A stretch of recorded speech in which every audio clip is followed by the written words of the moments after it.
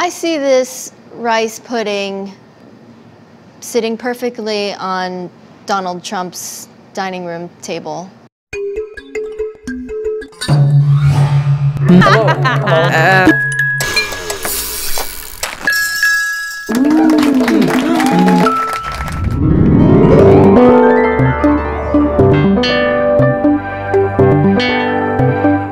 A few years ago, I was at a fancy restaurant and the server came out and placed a plate of beet risotto in front of me. And he made sure to mention that the risotto was covered in an entire leaf of gold and then walked away. And I immediately thought that was ridiculous. So to poke fun at my experience, we are going to make saffron rice pudding, which in itself uses a very expensive product, um, saffron. And then we're gonna gild the entire surface of the rice with gold leaf. And then we're gonna top it with more uh, fruit that's been gilded in gold as well. Risotto rice, sugar, two cinnamon sticks, the zest of a lemon, three grams kosher salt, a vanilla bean that we're going to split, scrape out the seeds.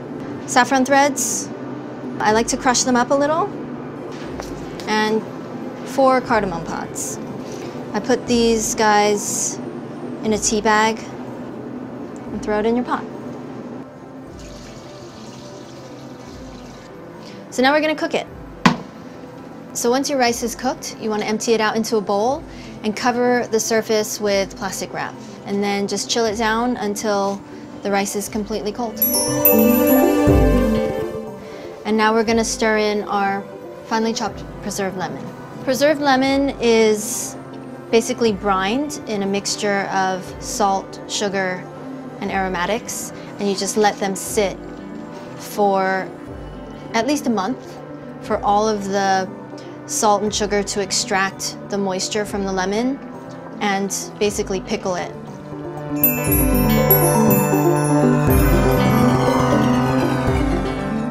We've got some berries, we have a blood orange here, bananas are always fun, chocolate curls that you can use to jazz up your rice, and some pomegranate seeds.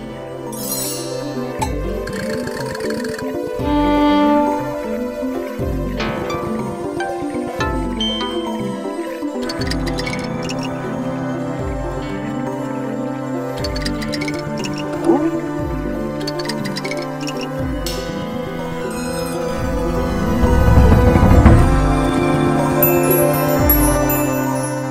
we're going to spoon some pudding onto the plate. We're using this ring here to keep everything in place. Remove your ring and get ready to gild your rice.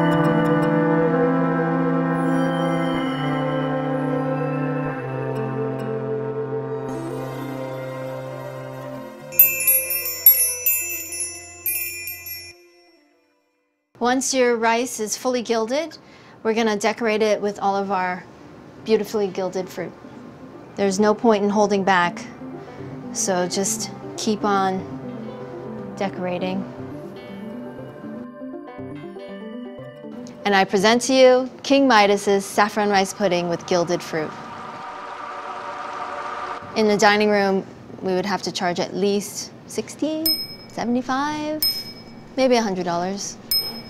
Who would really want to buy a $100 dessert?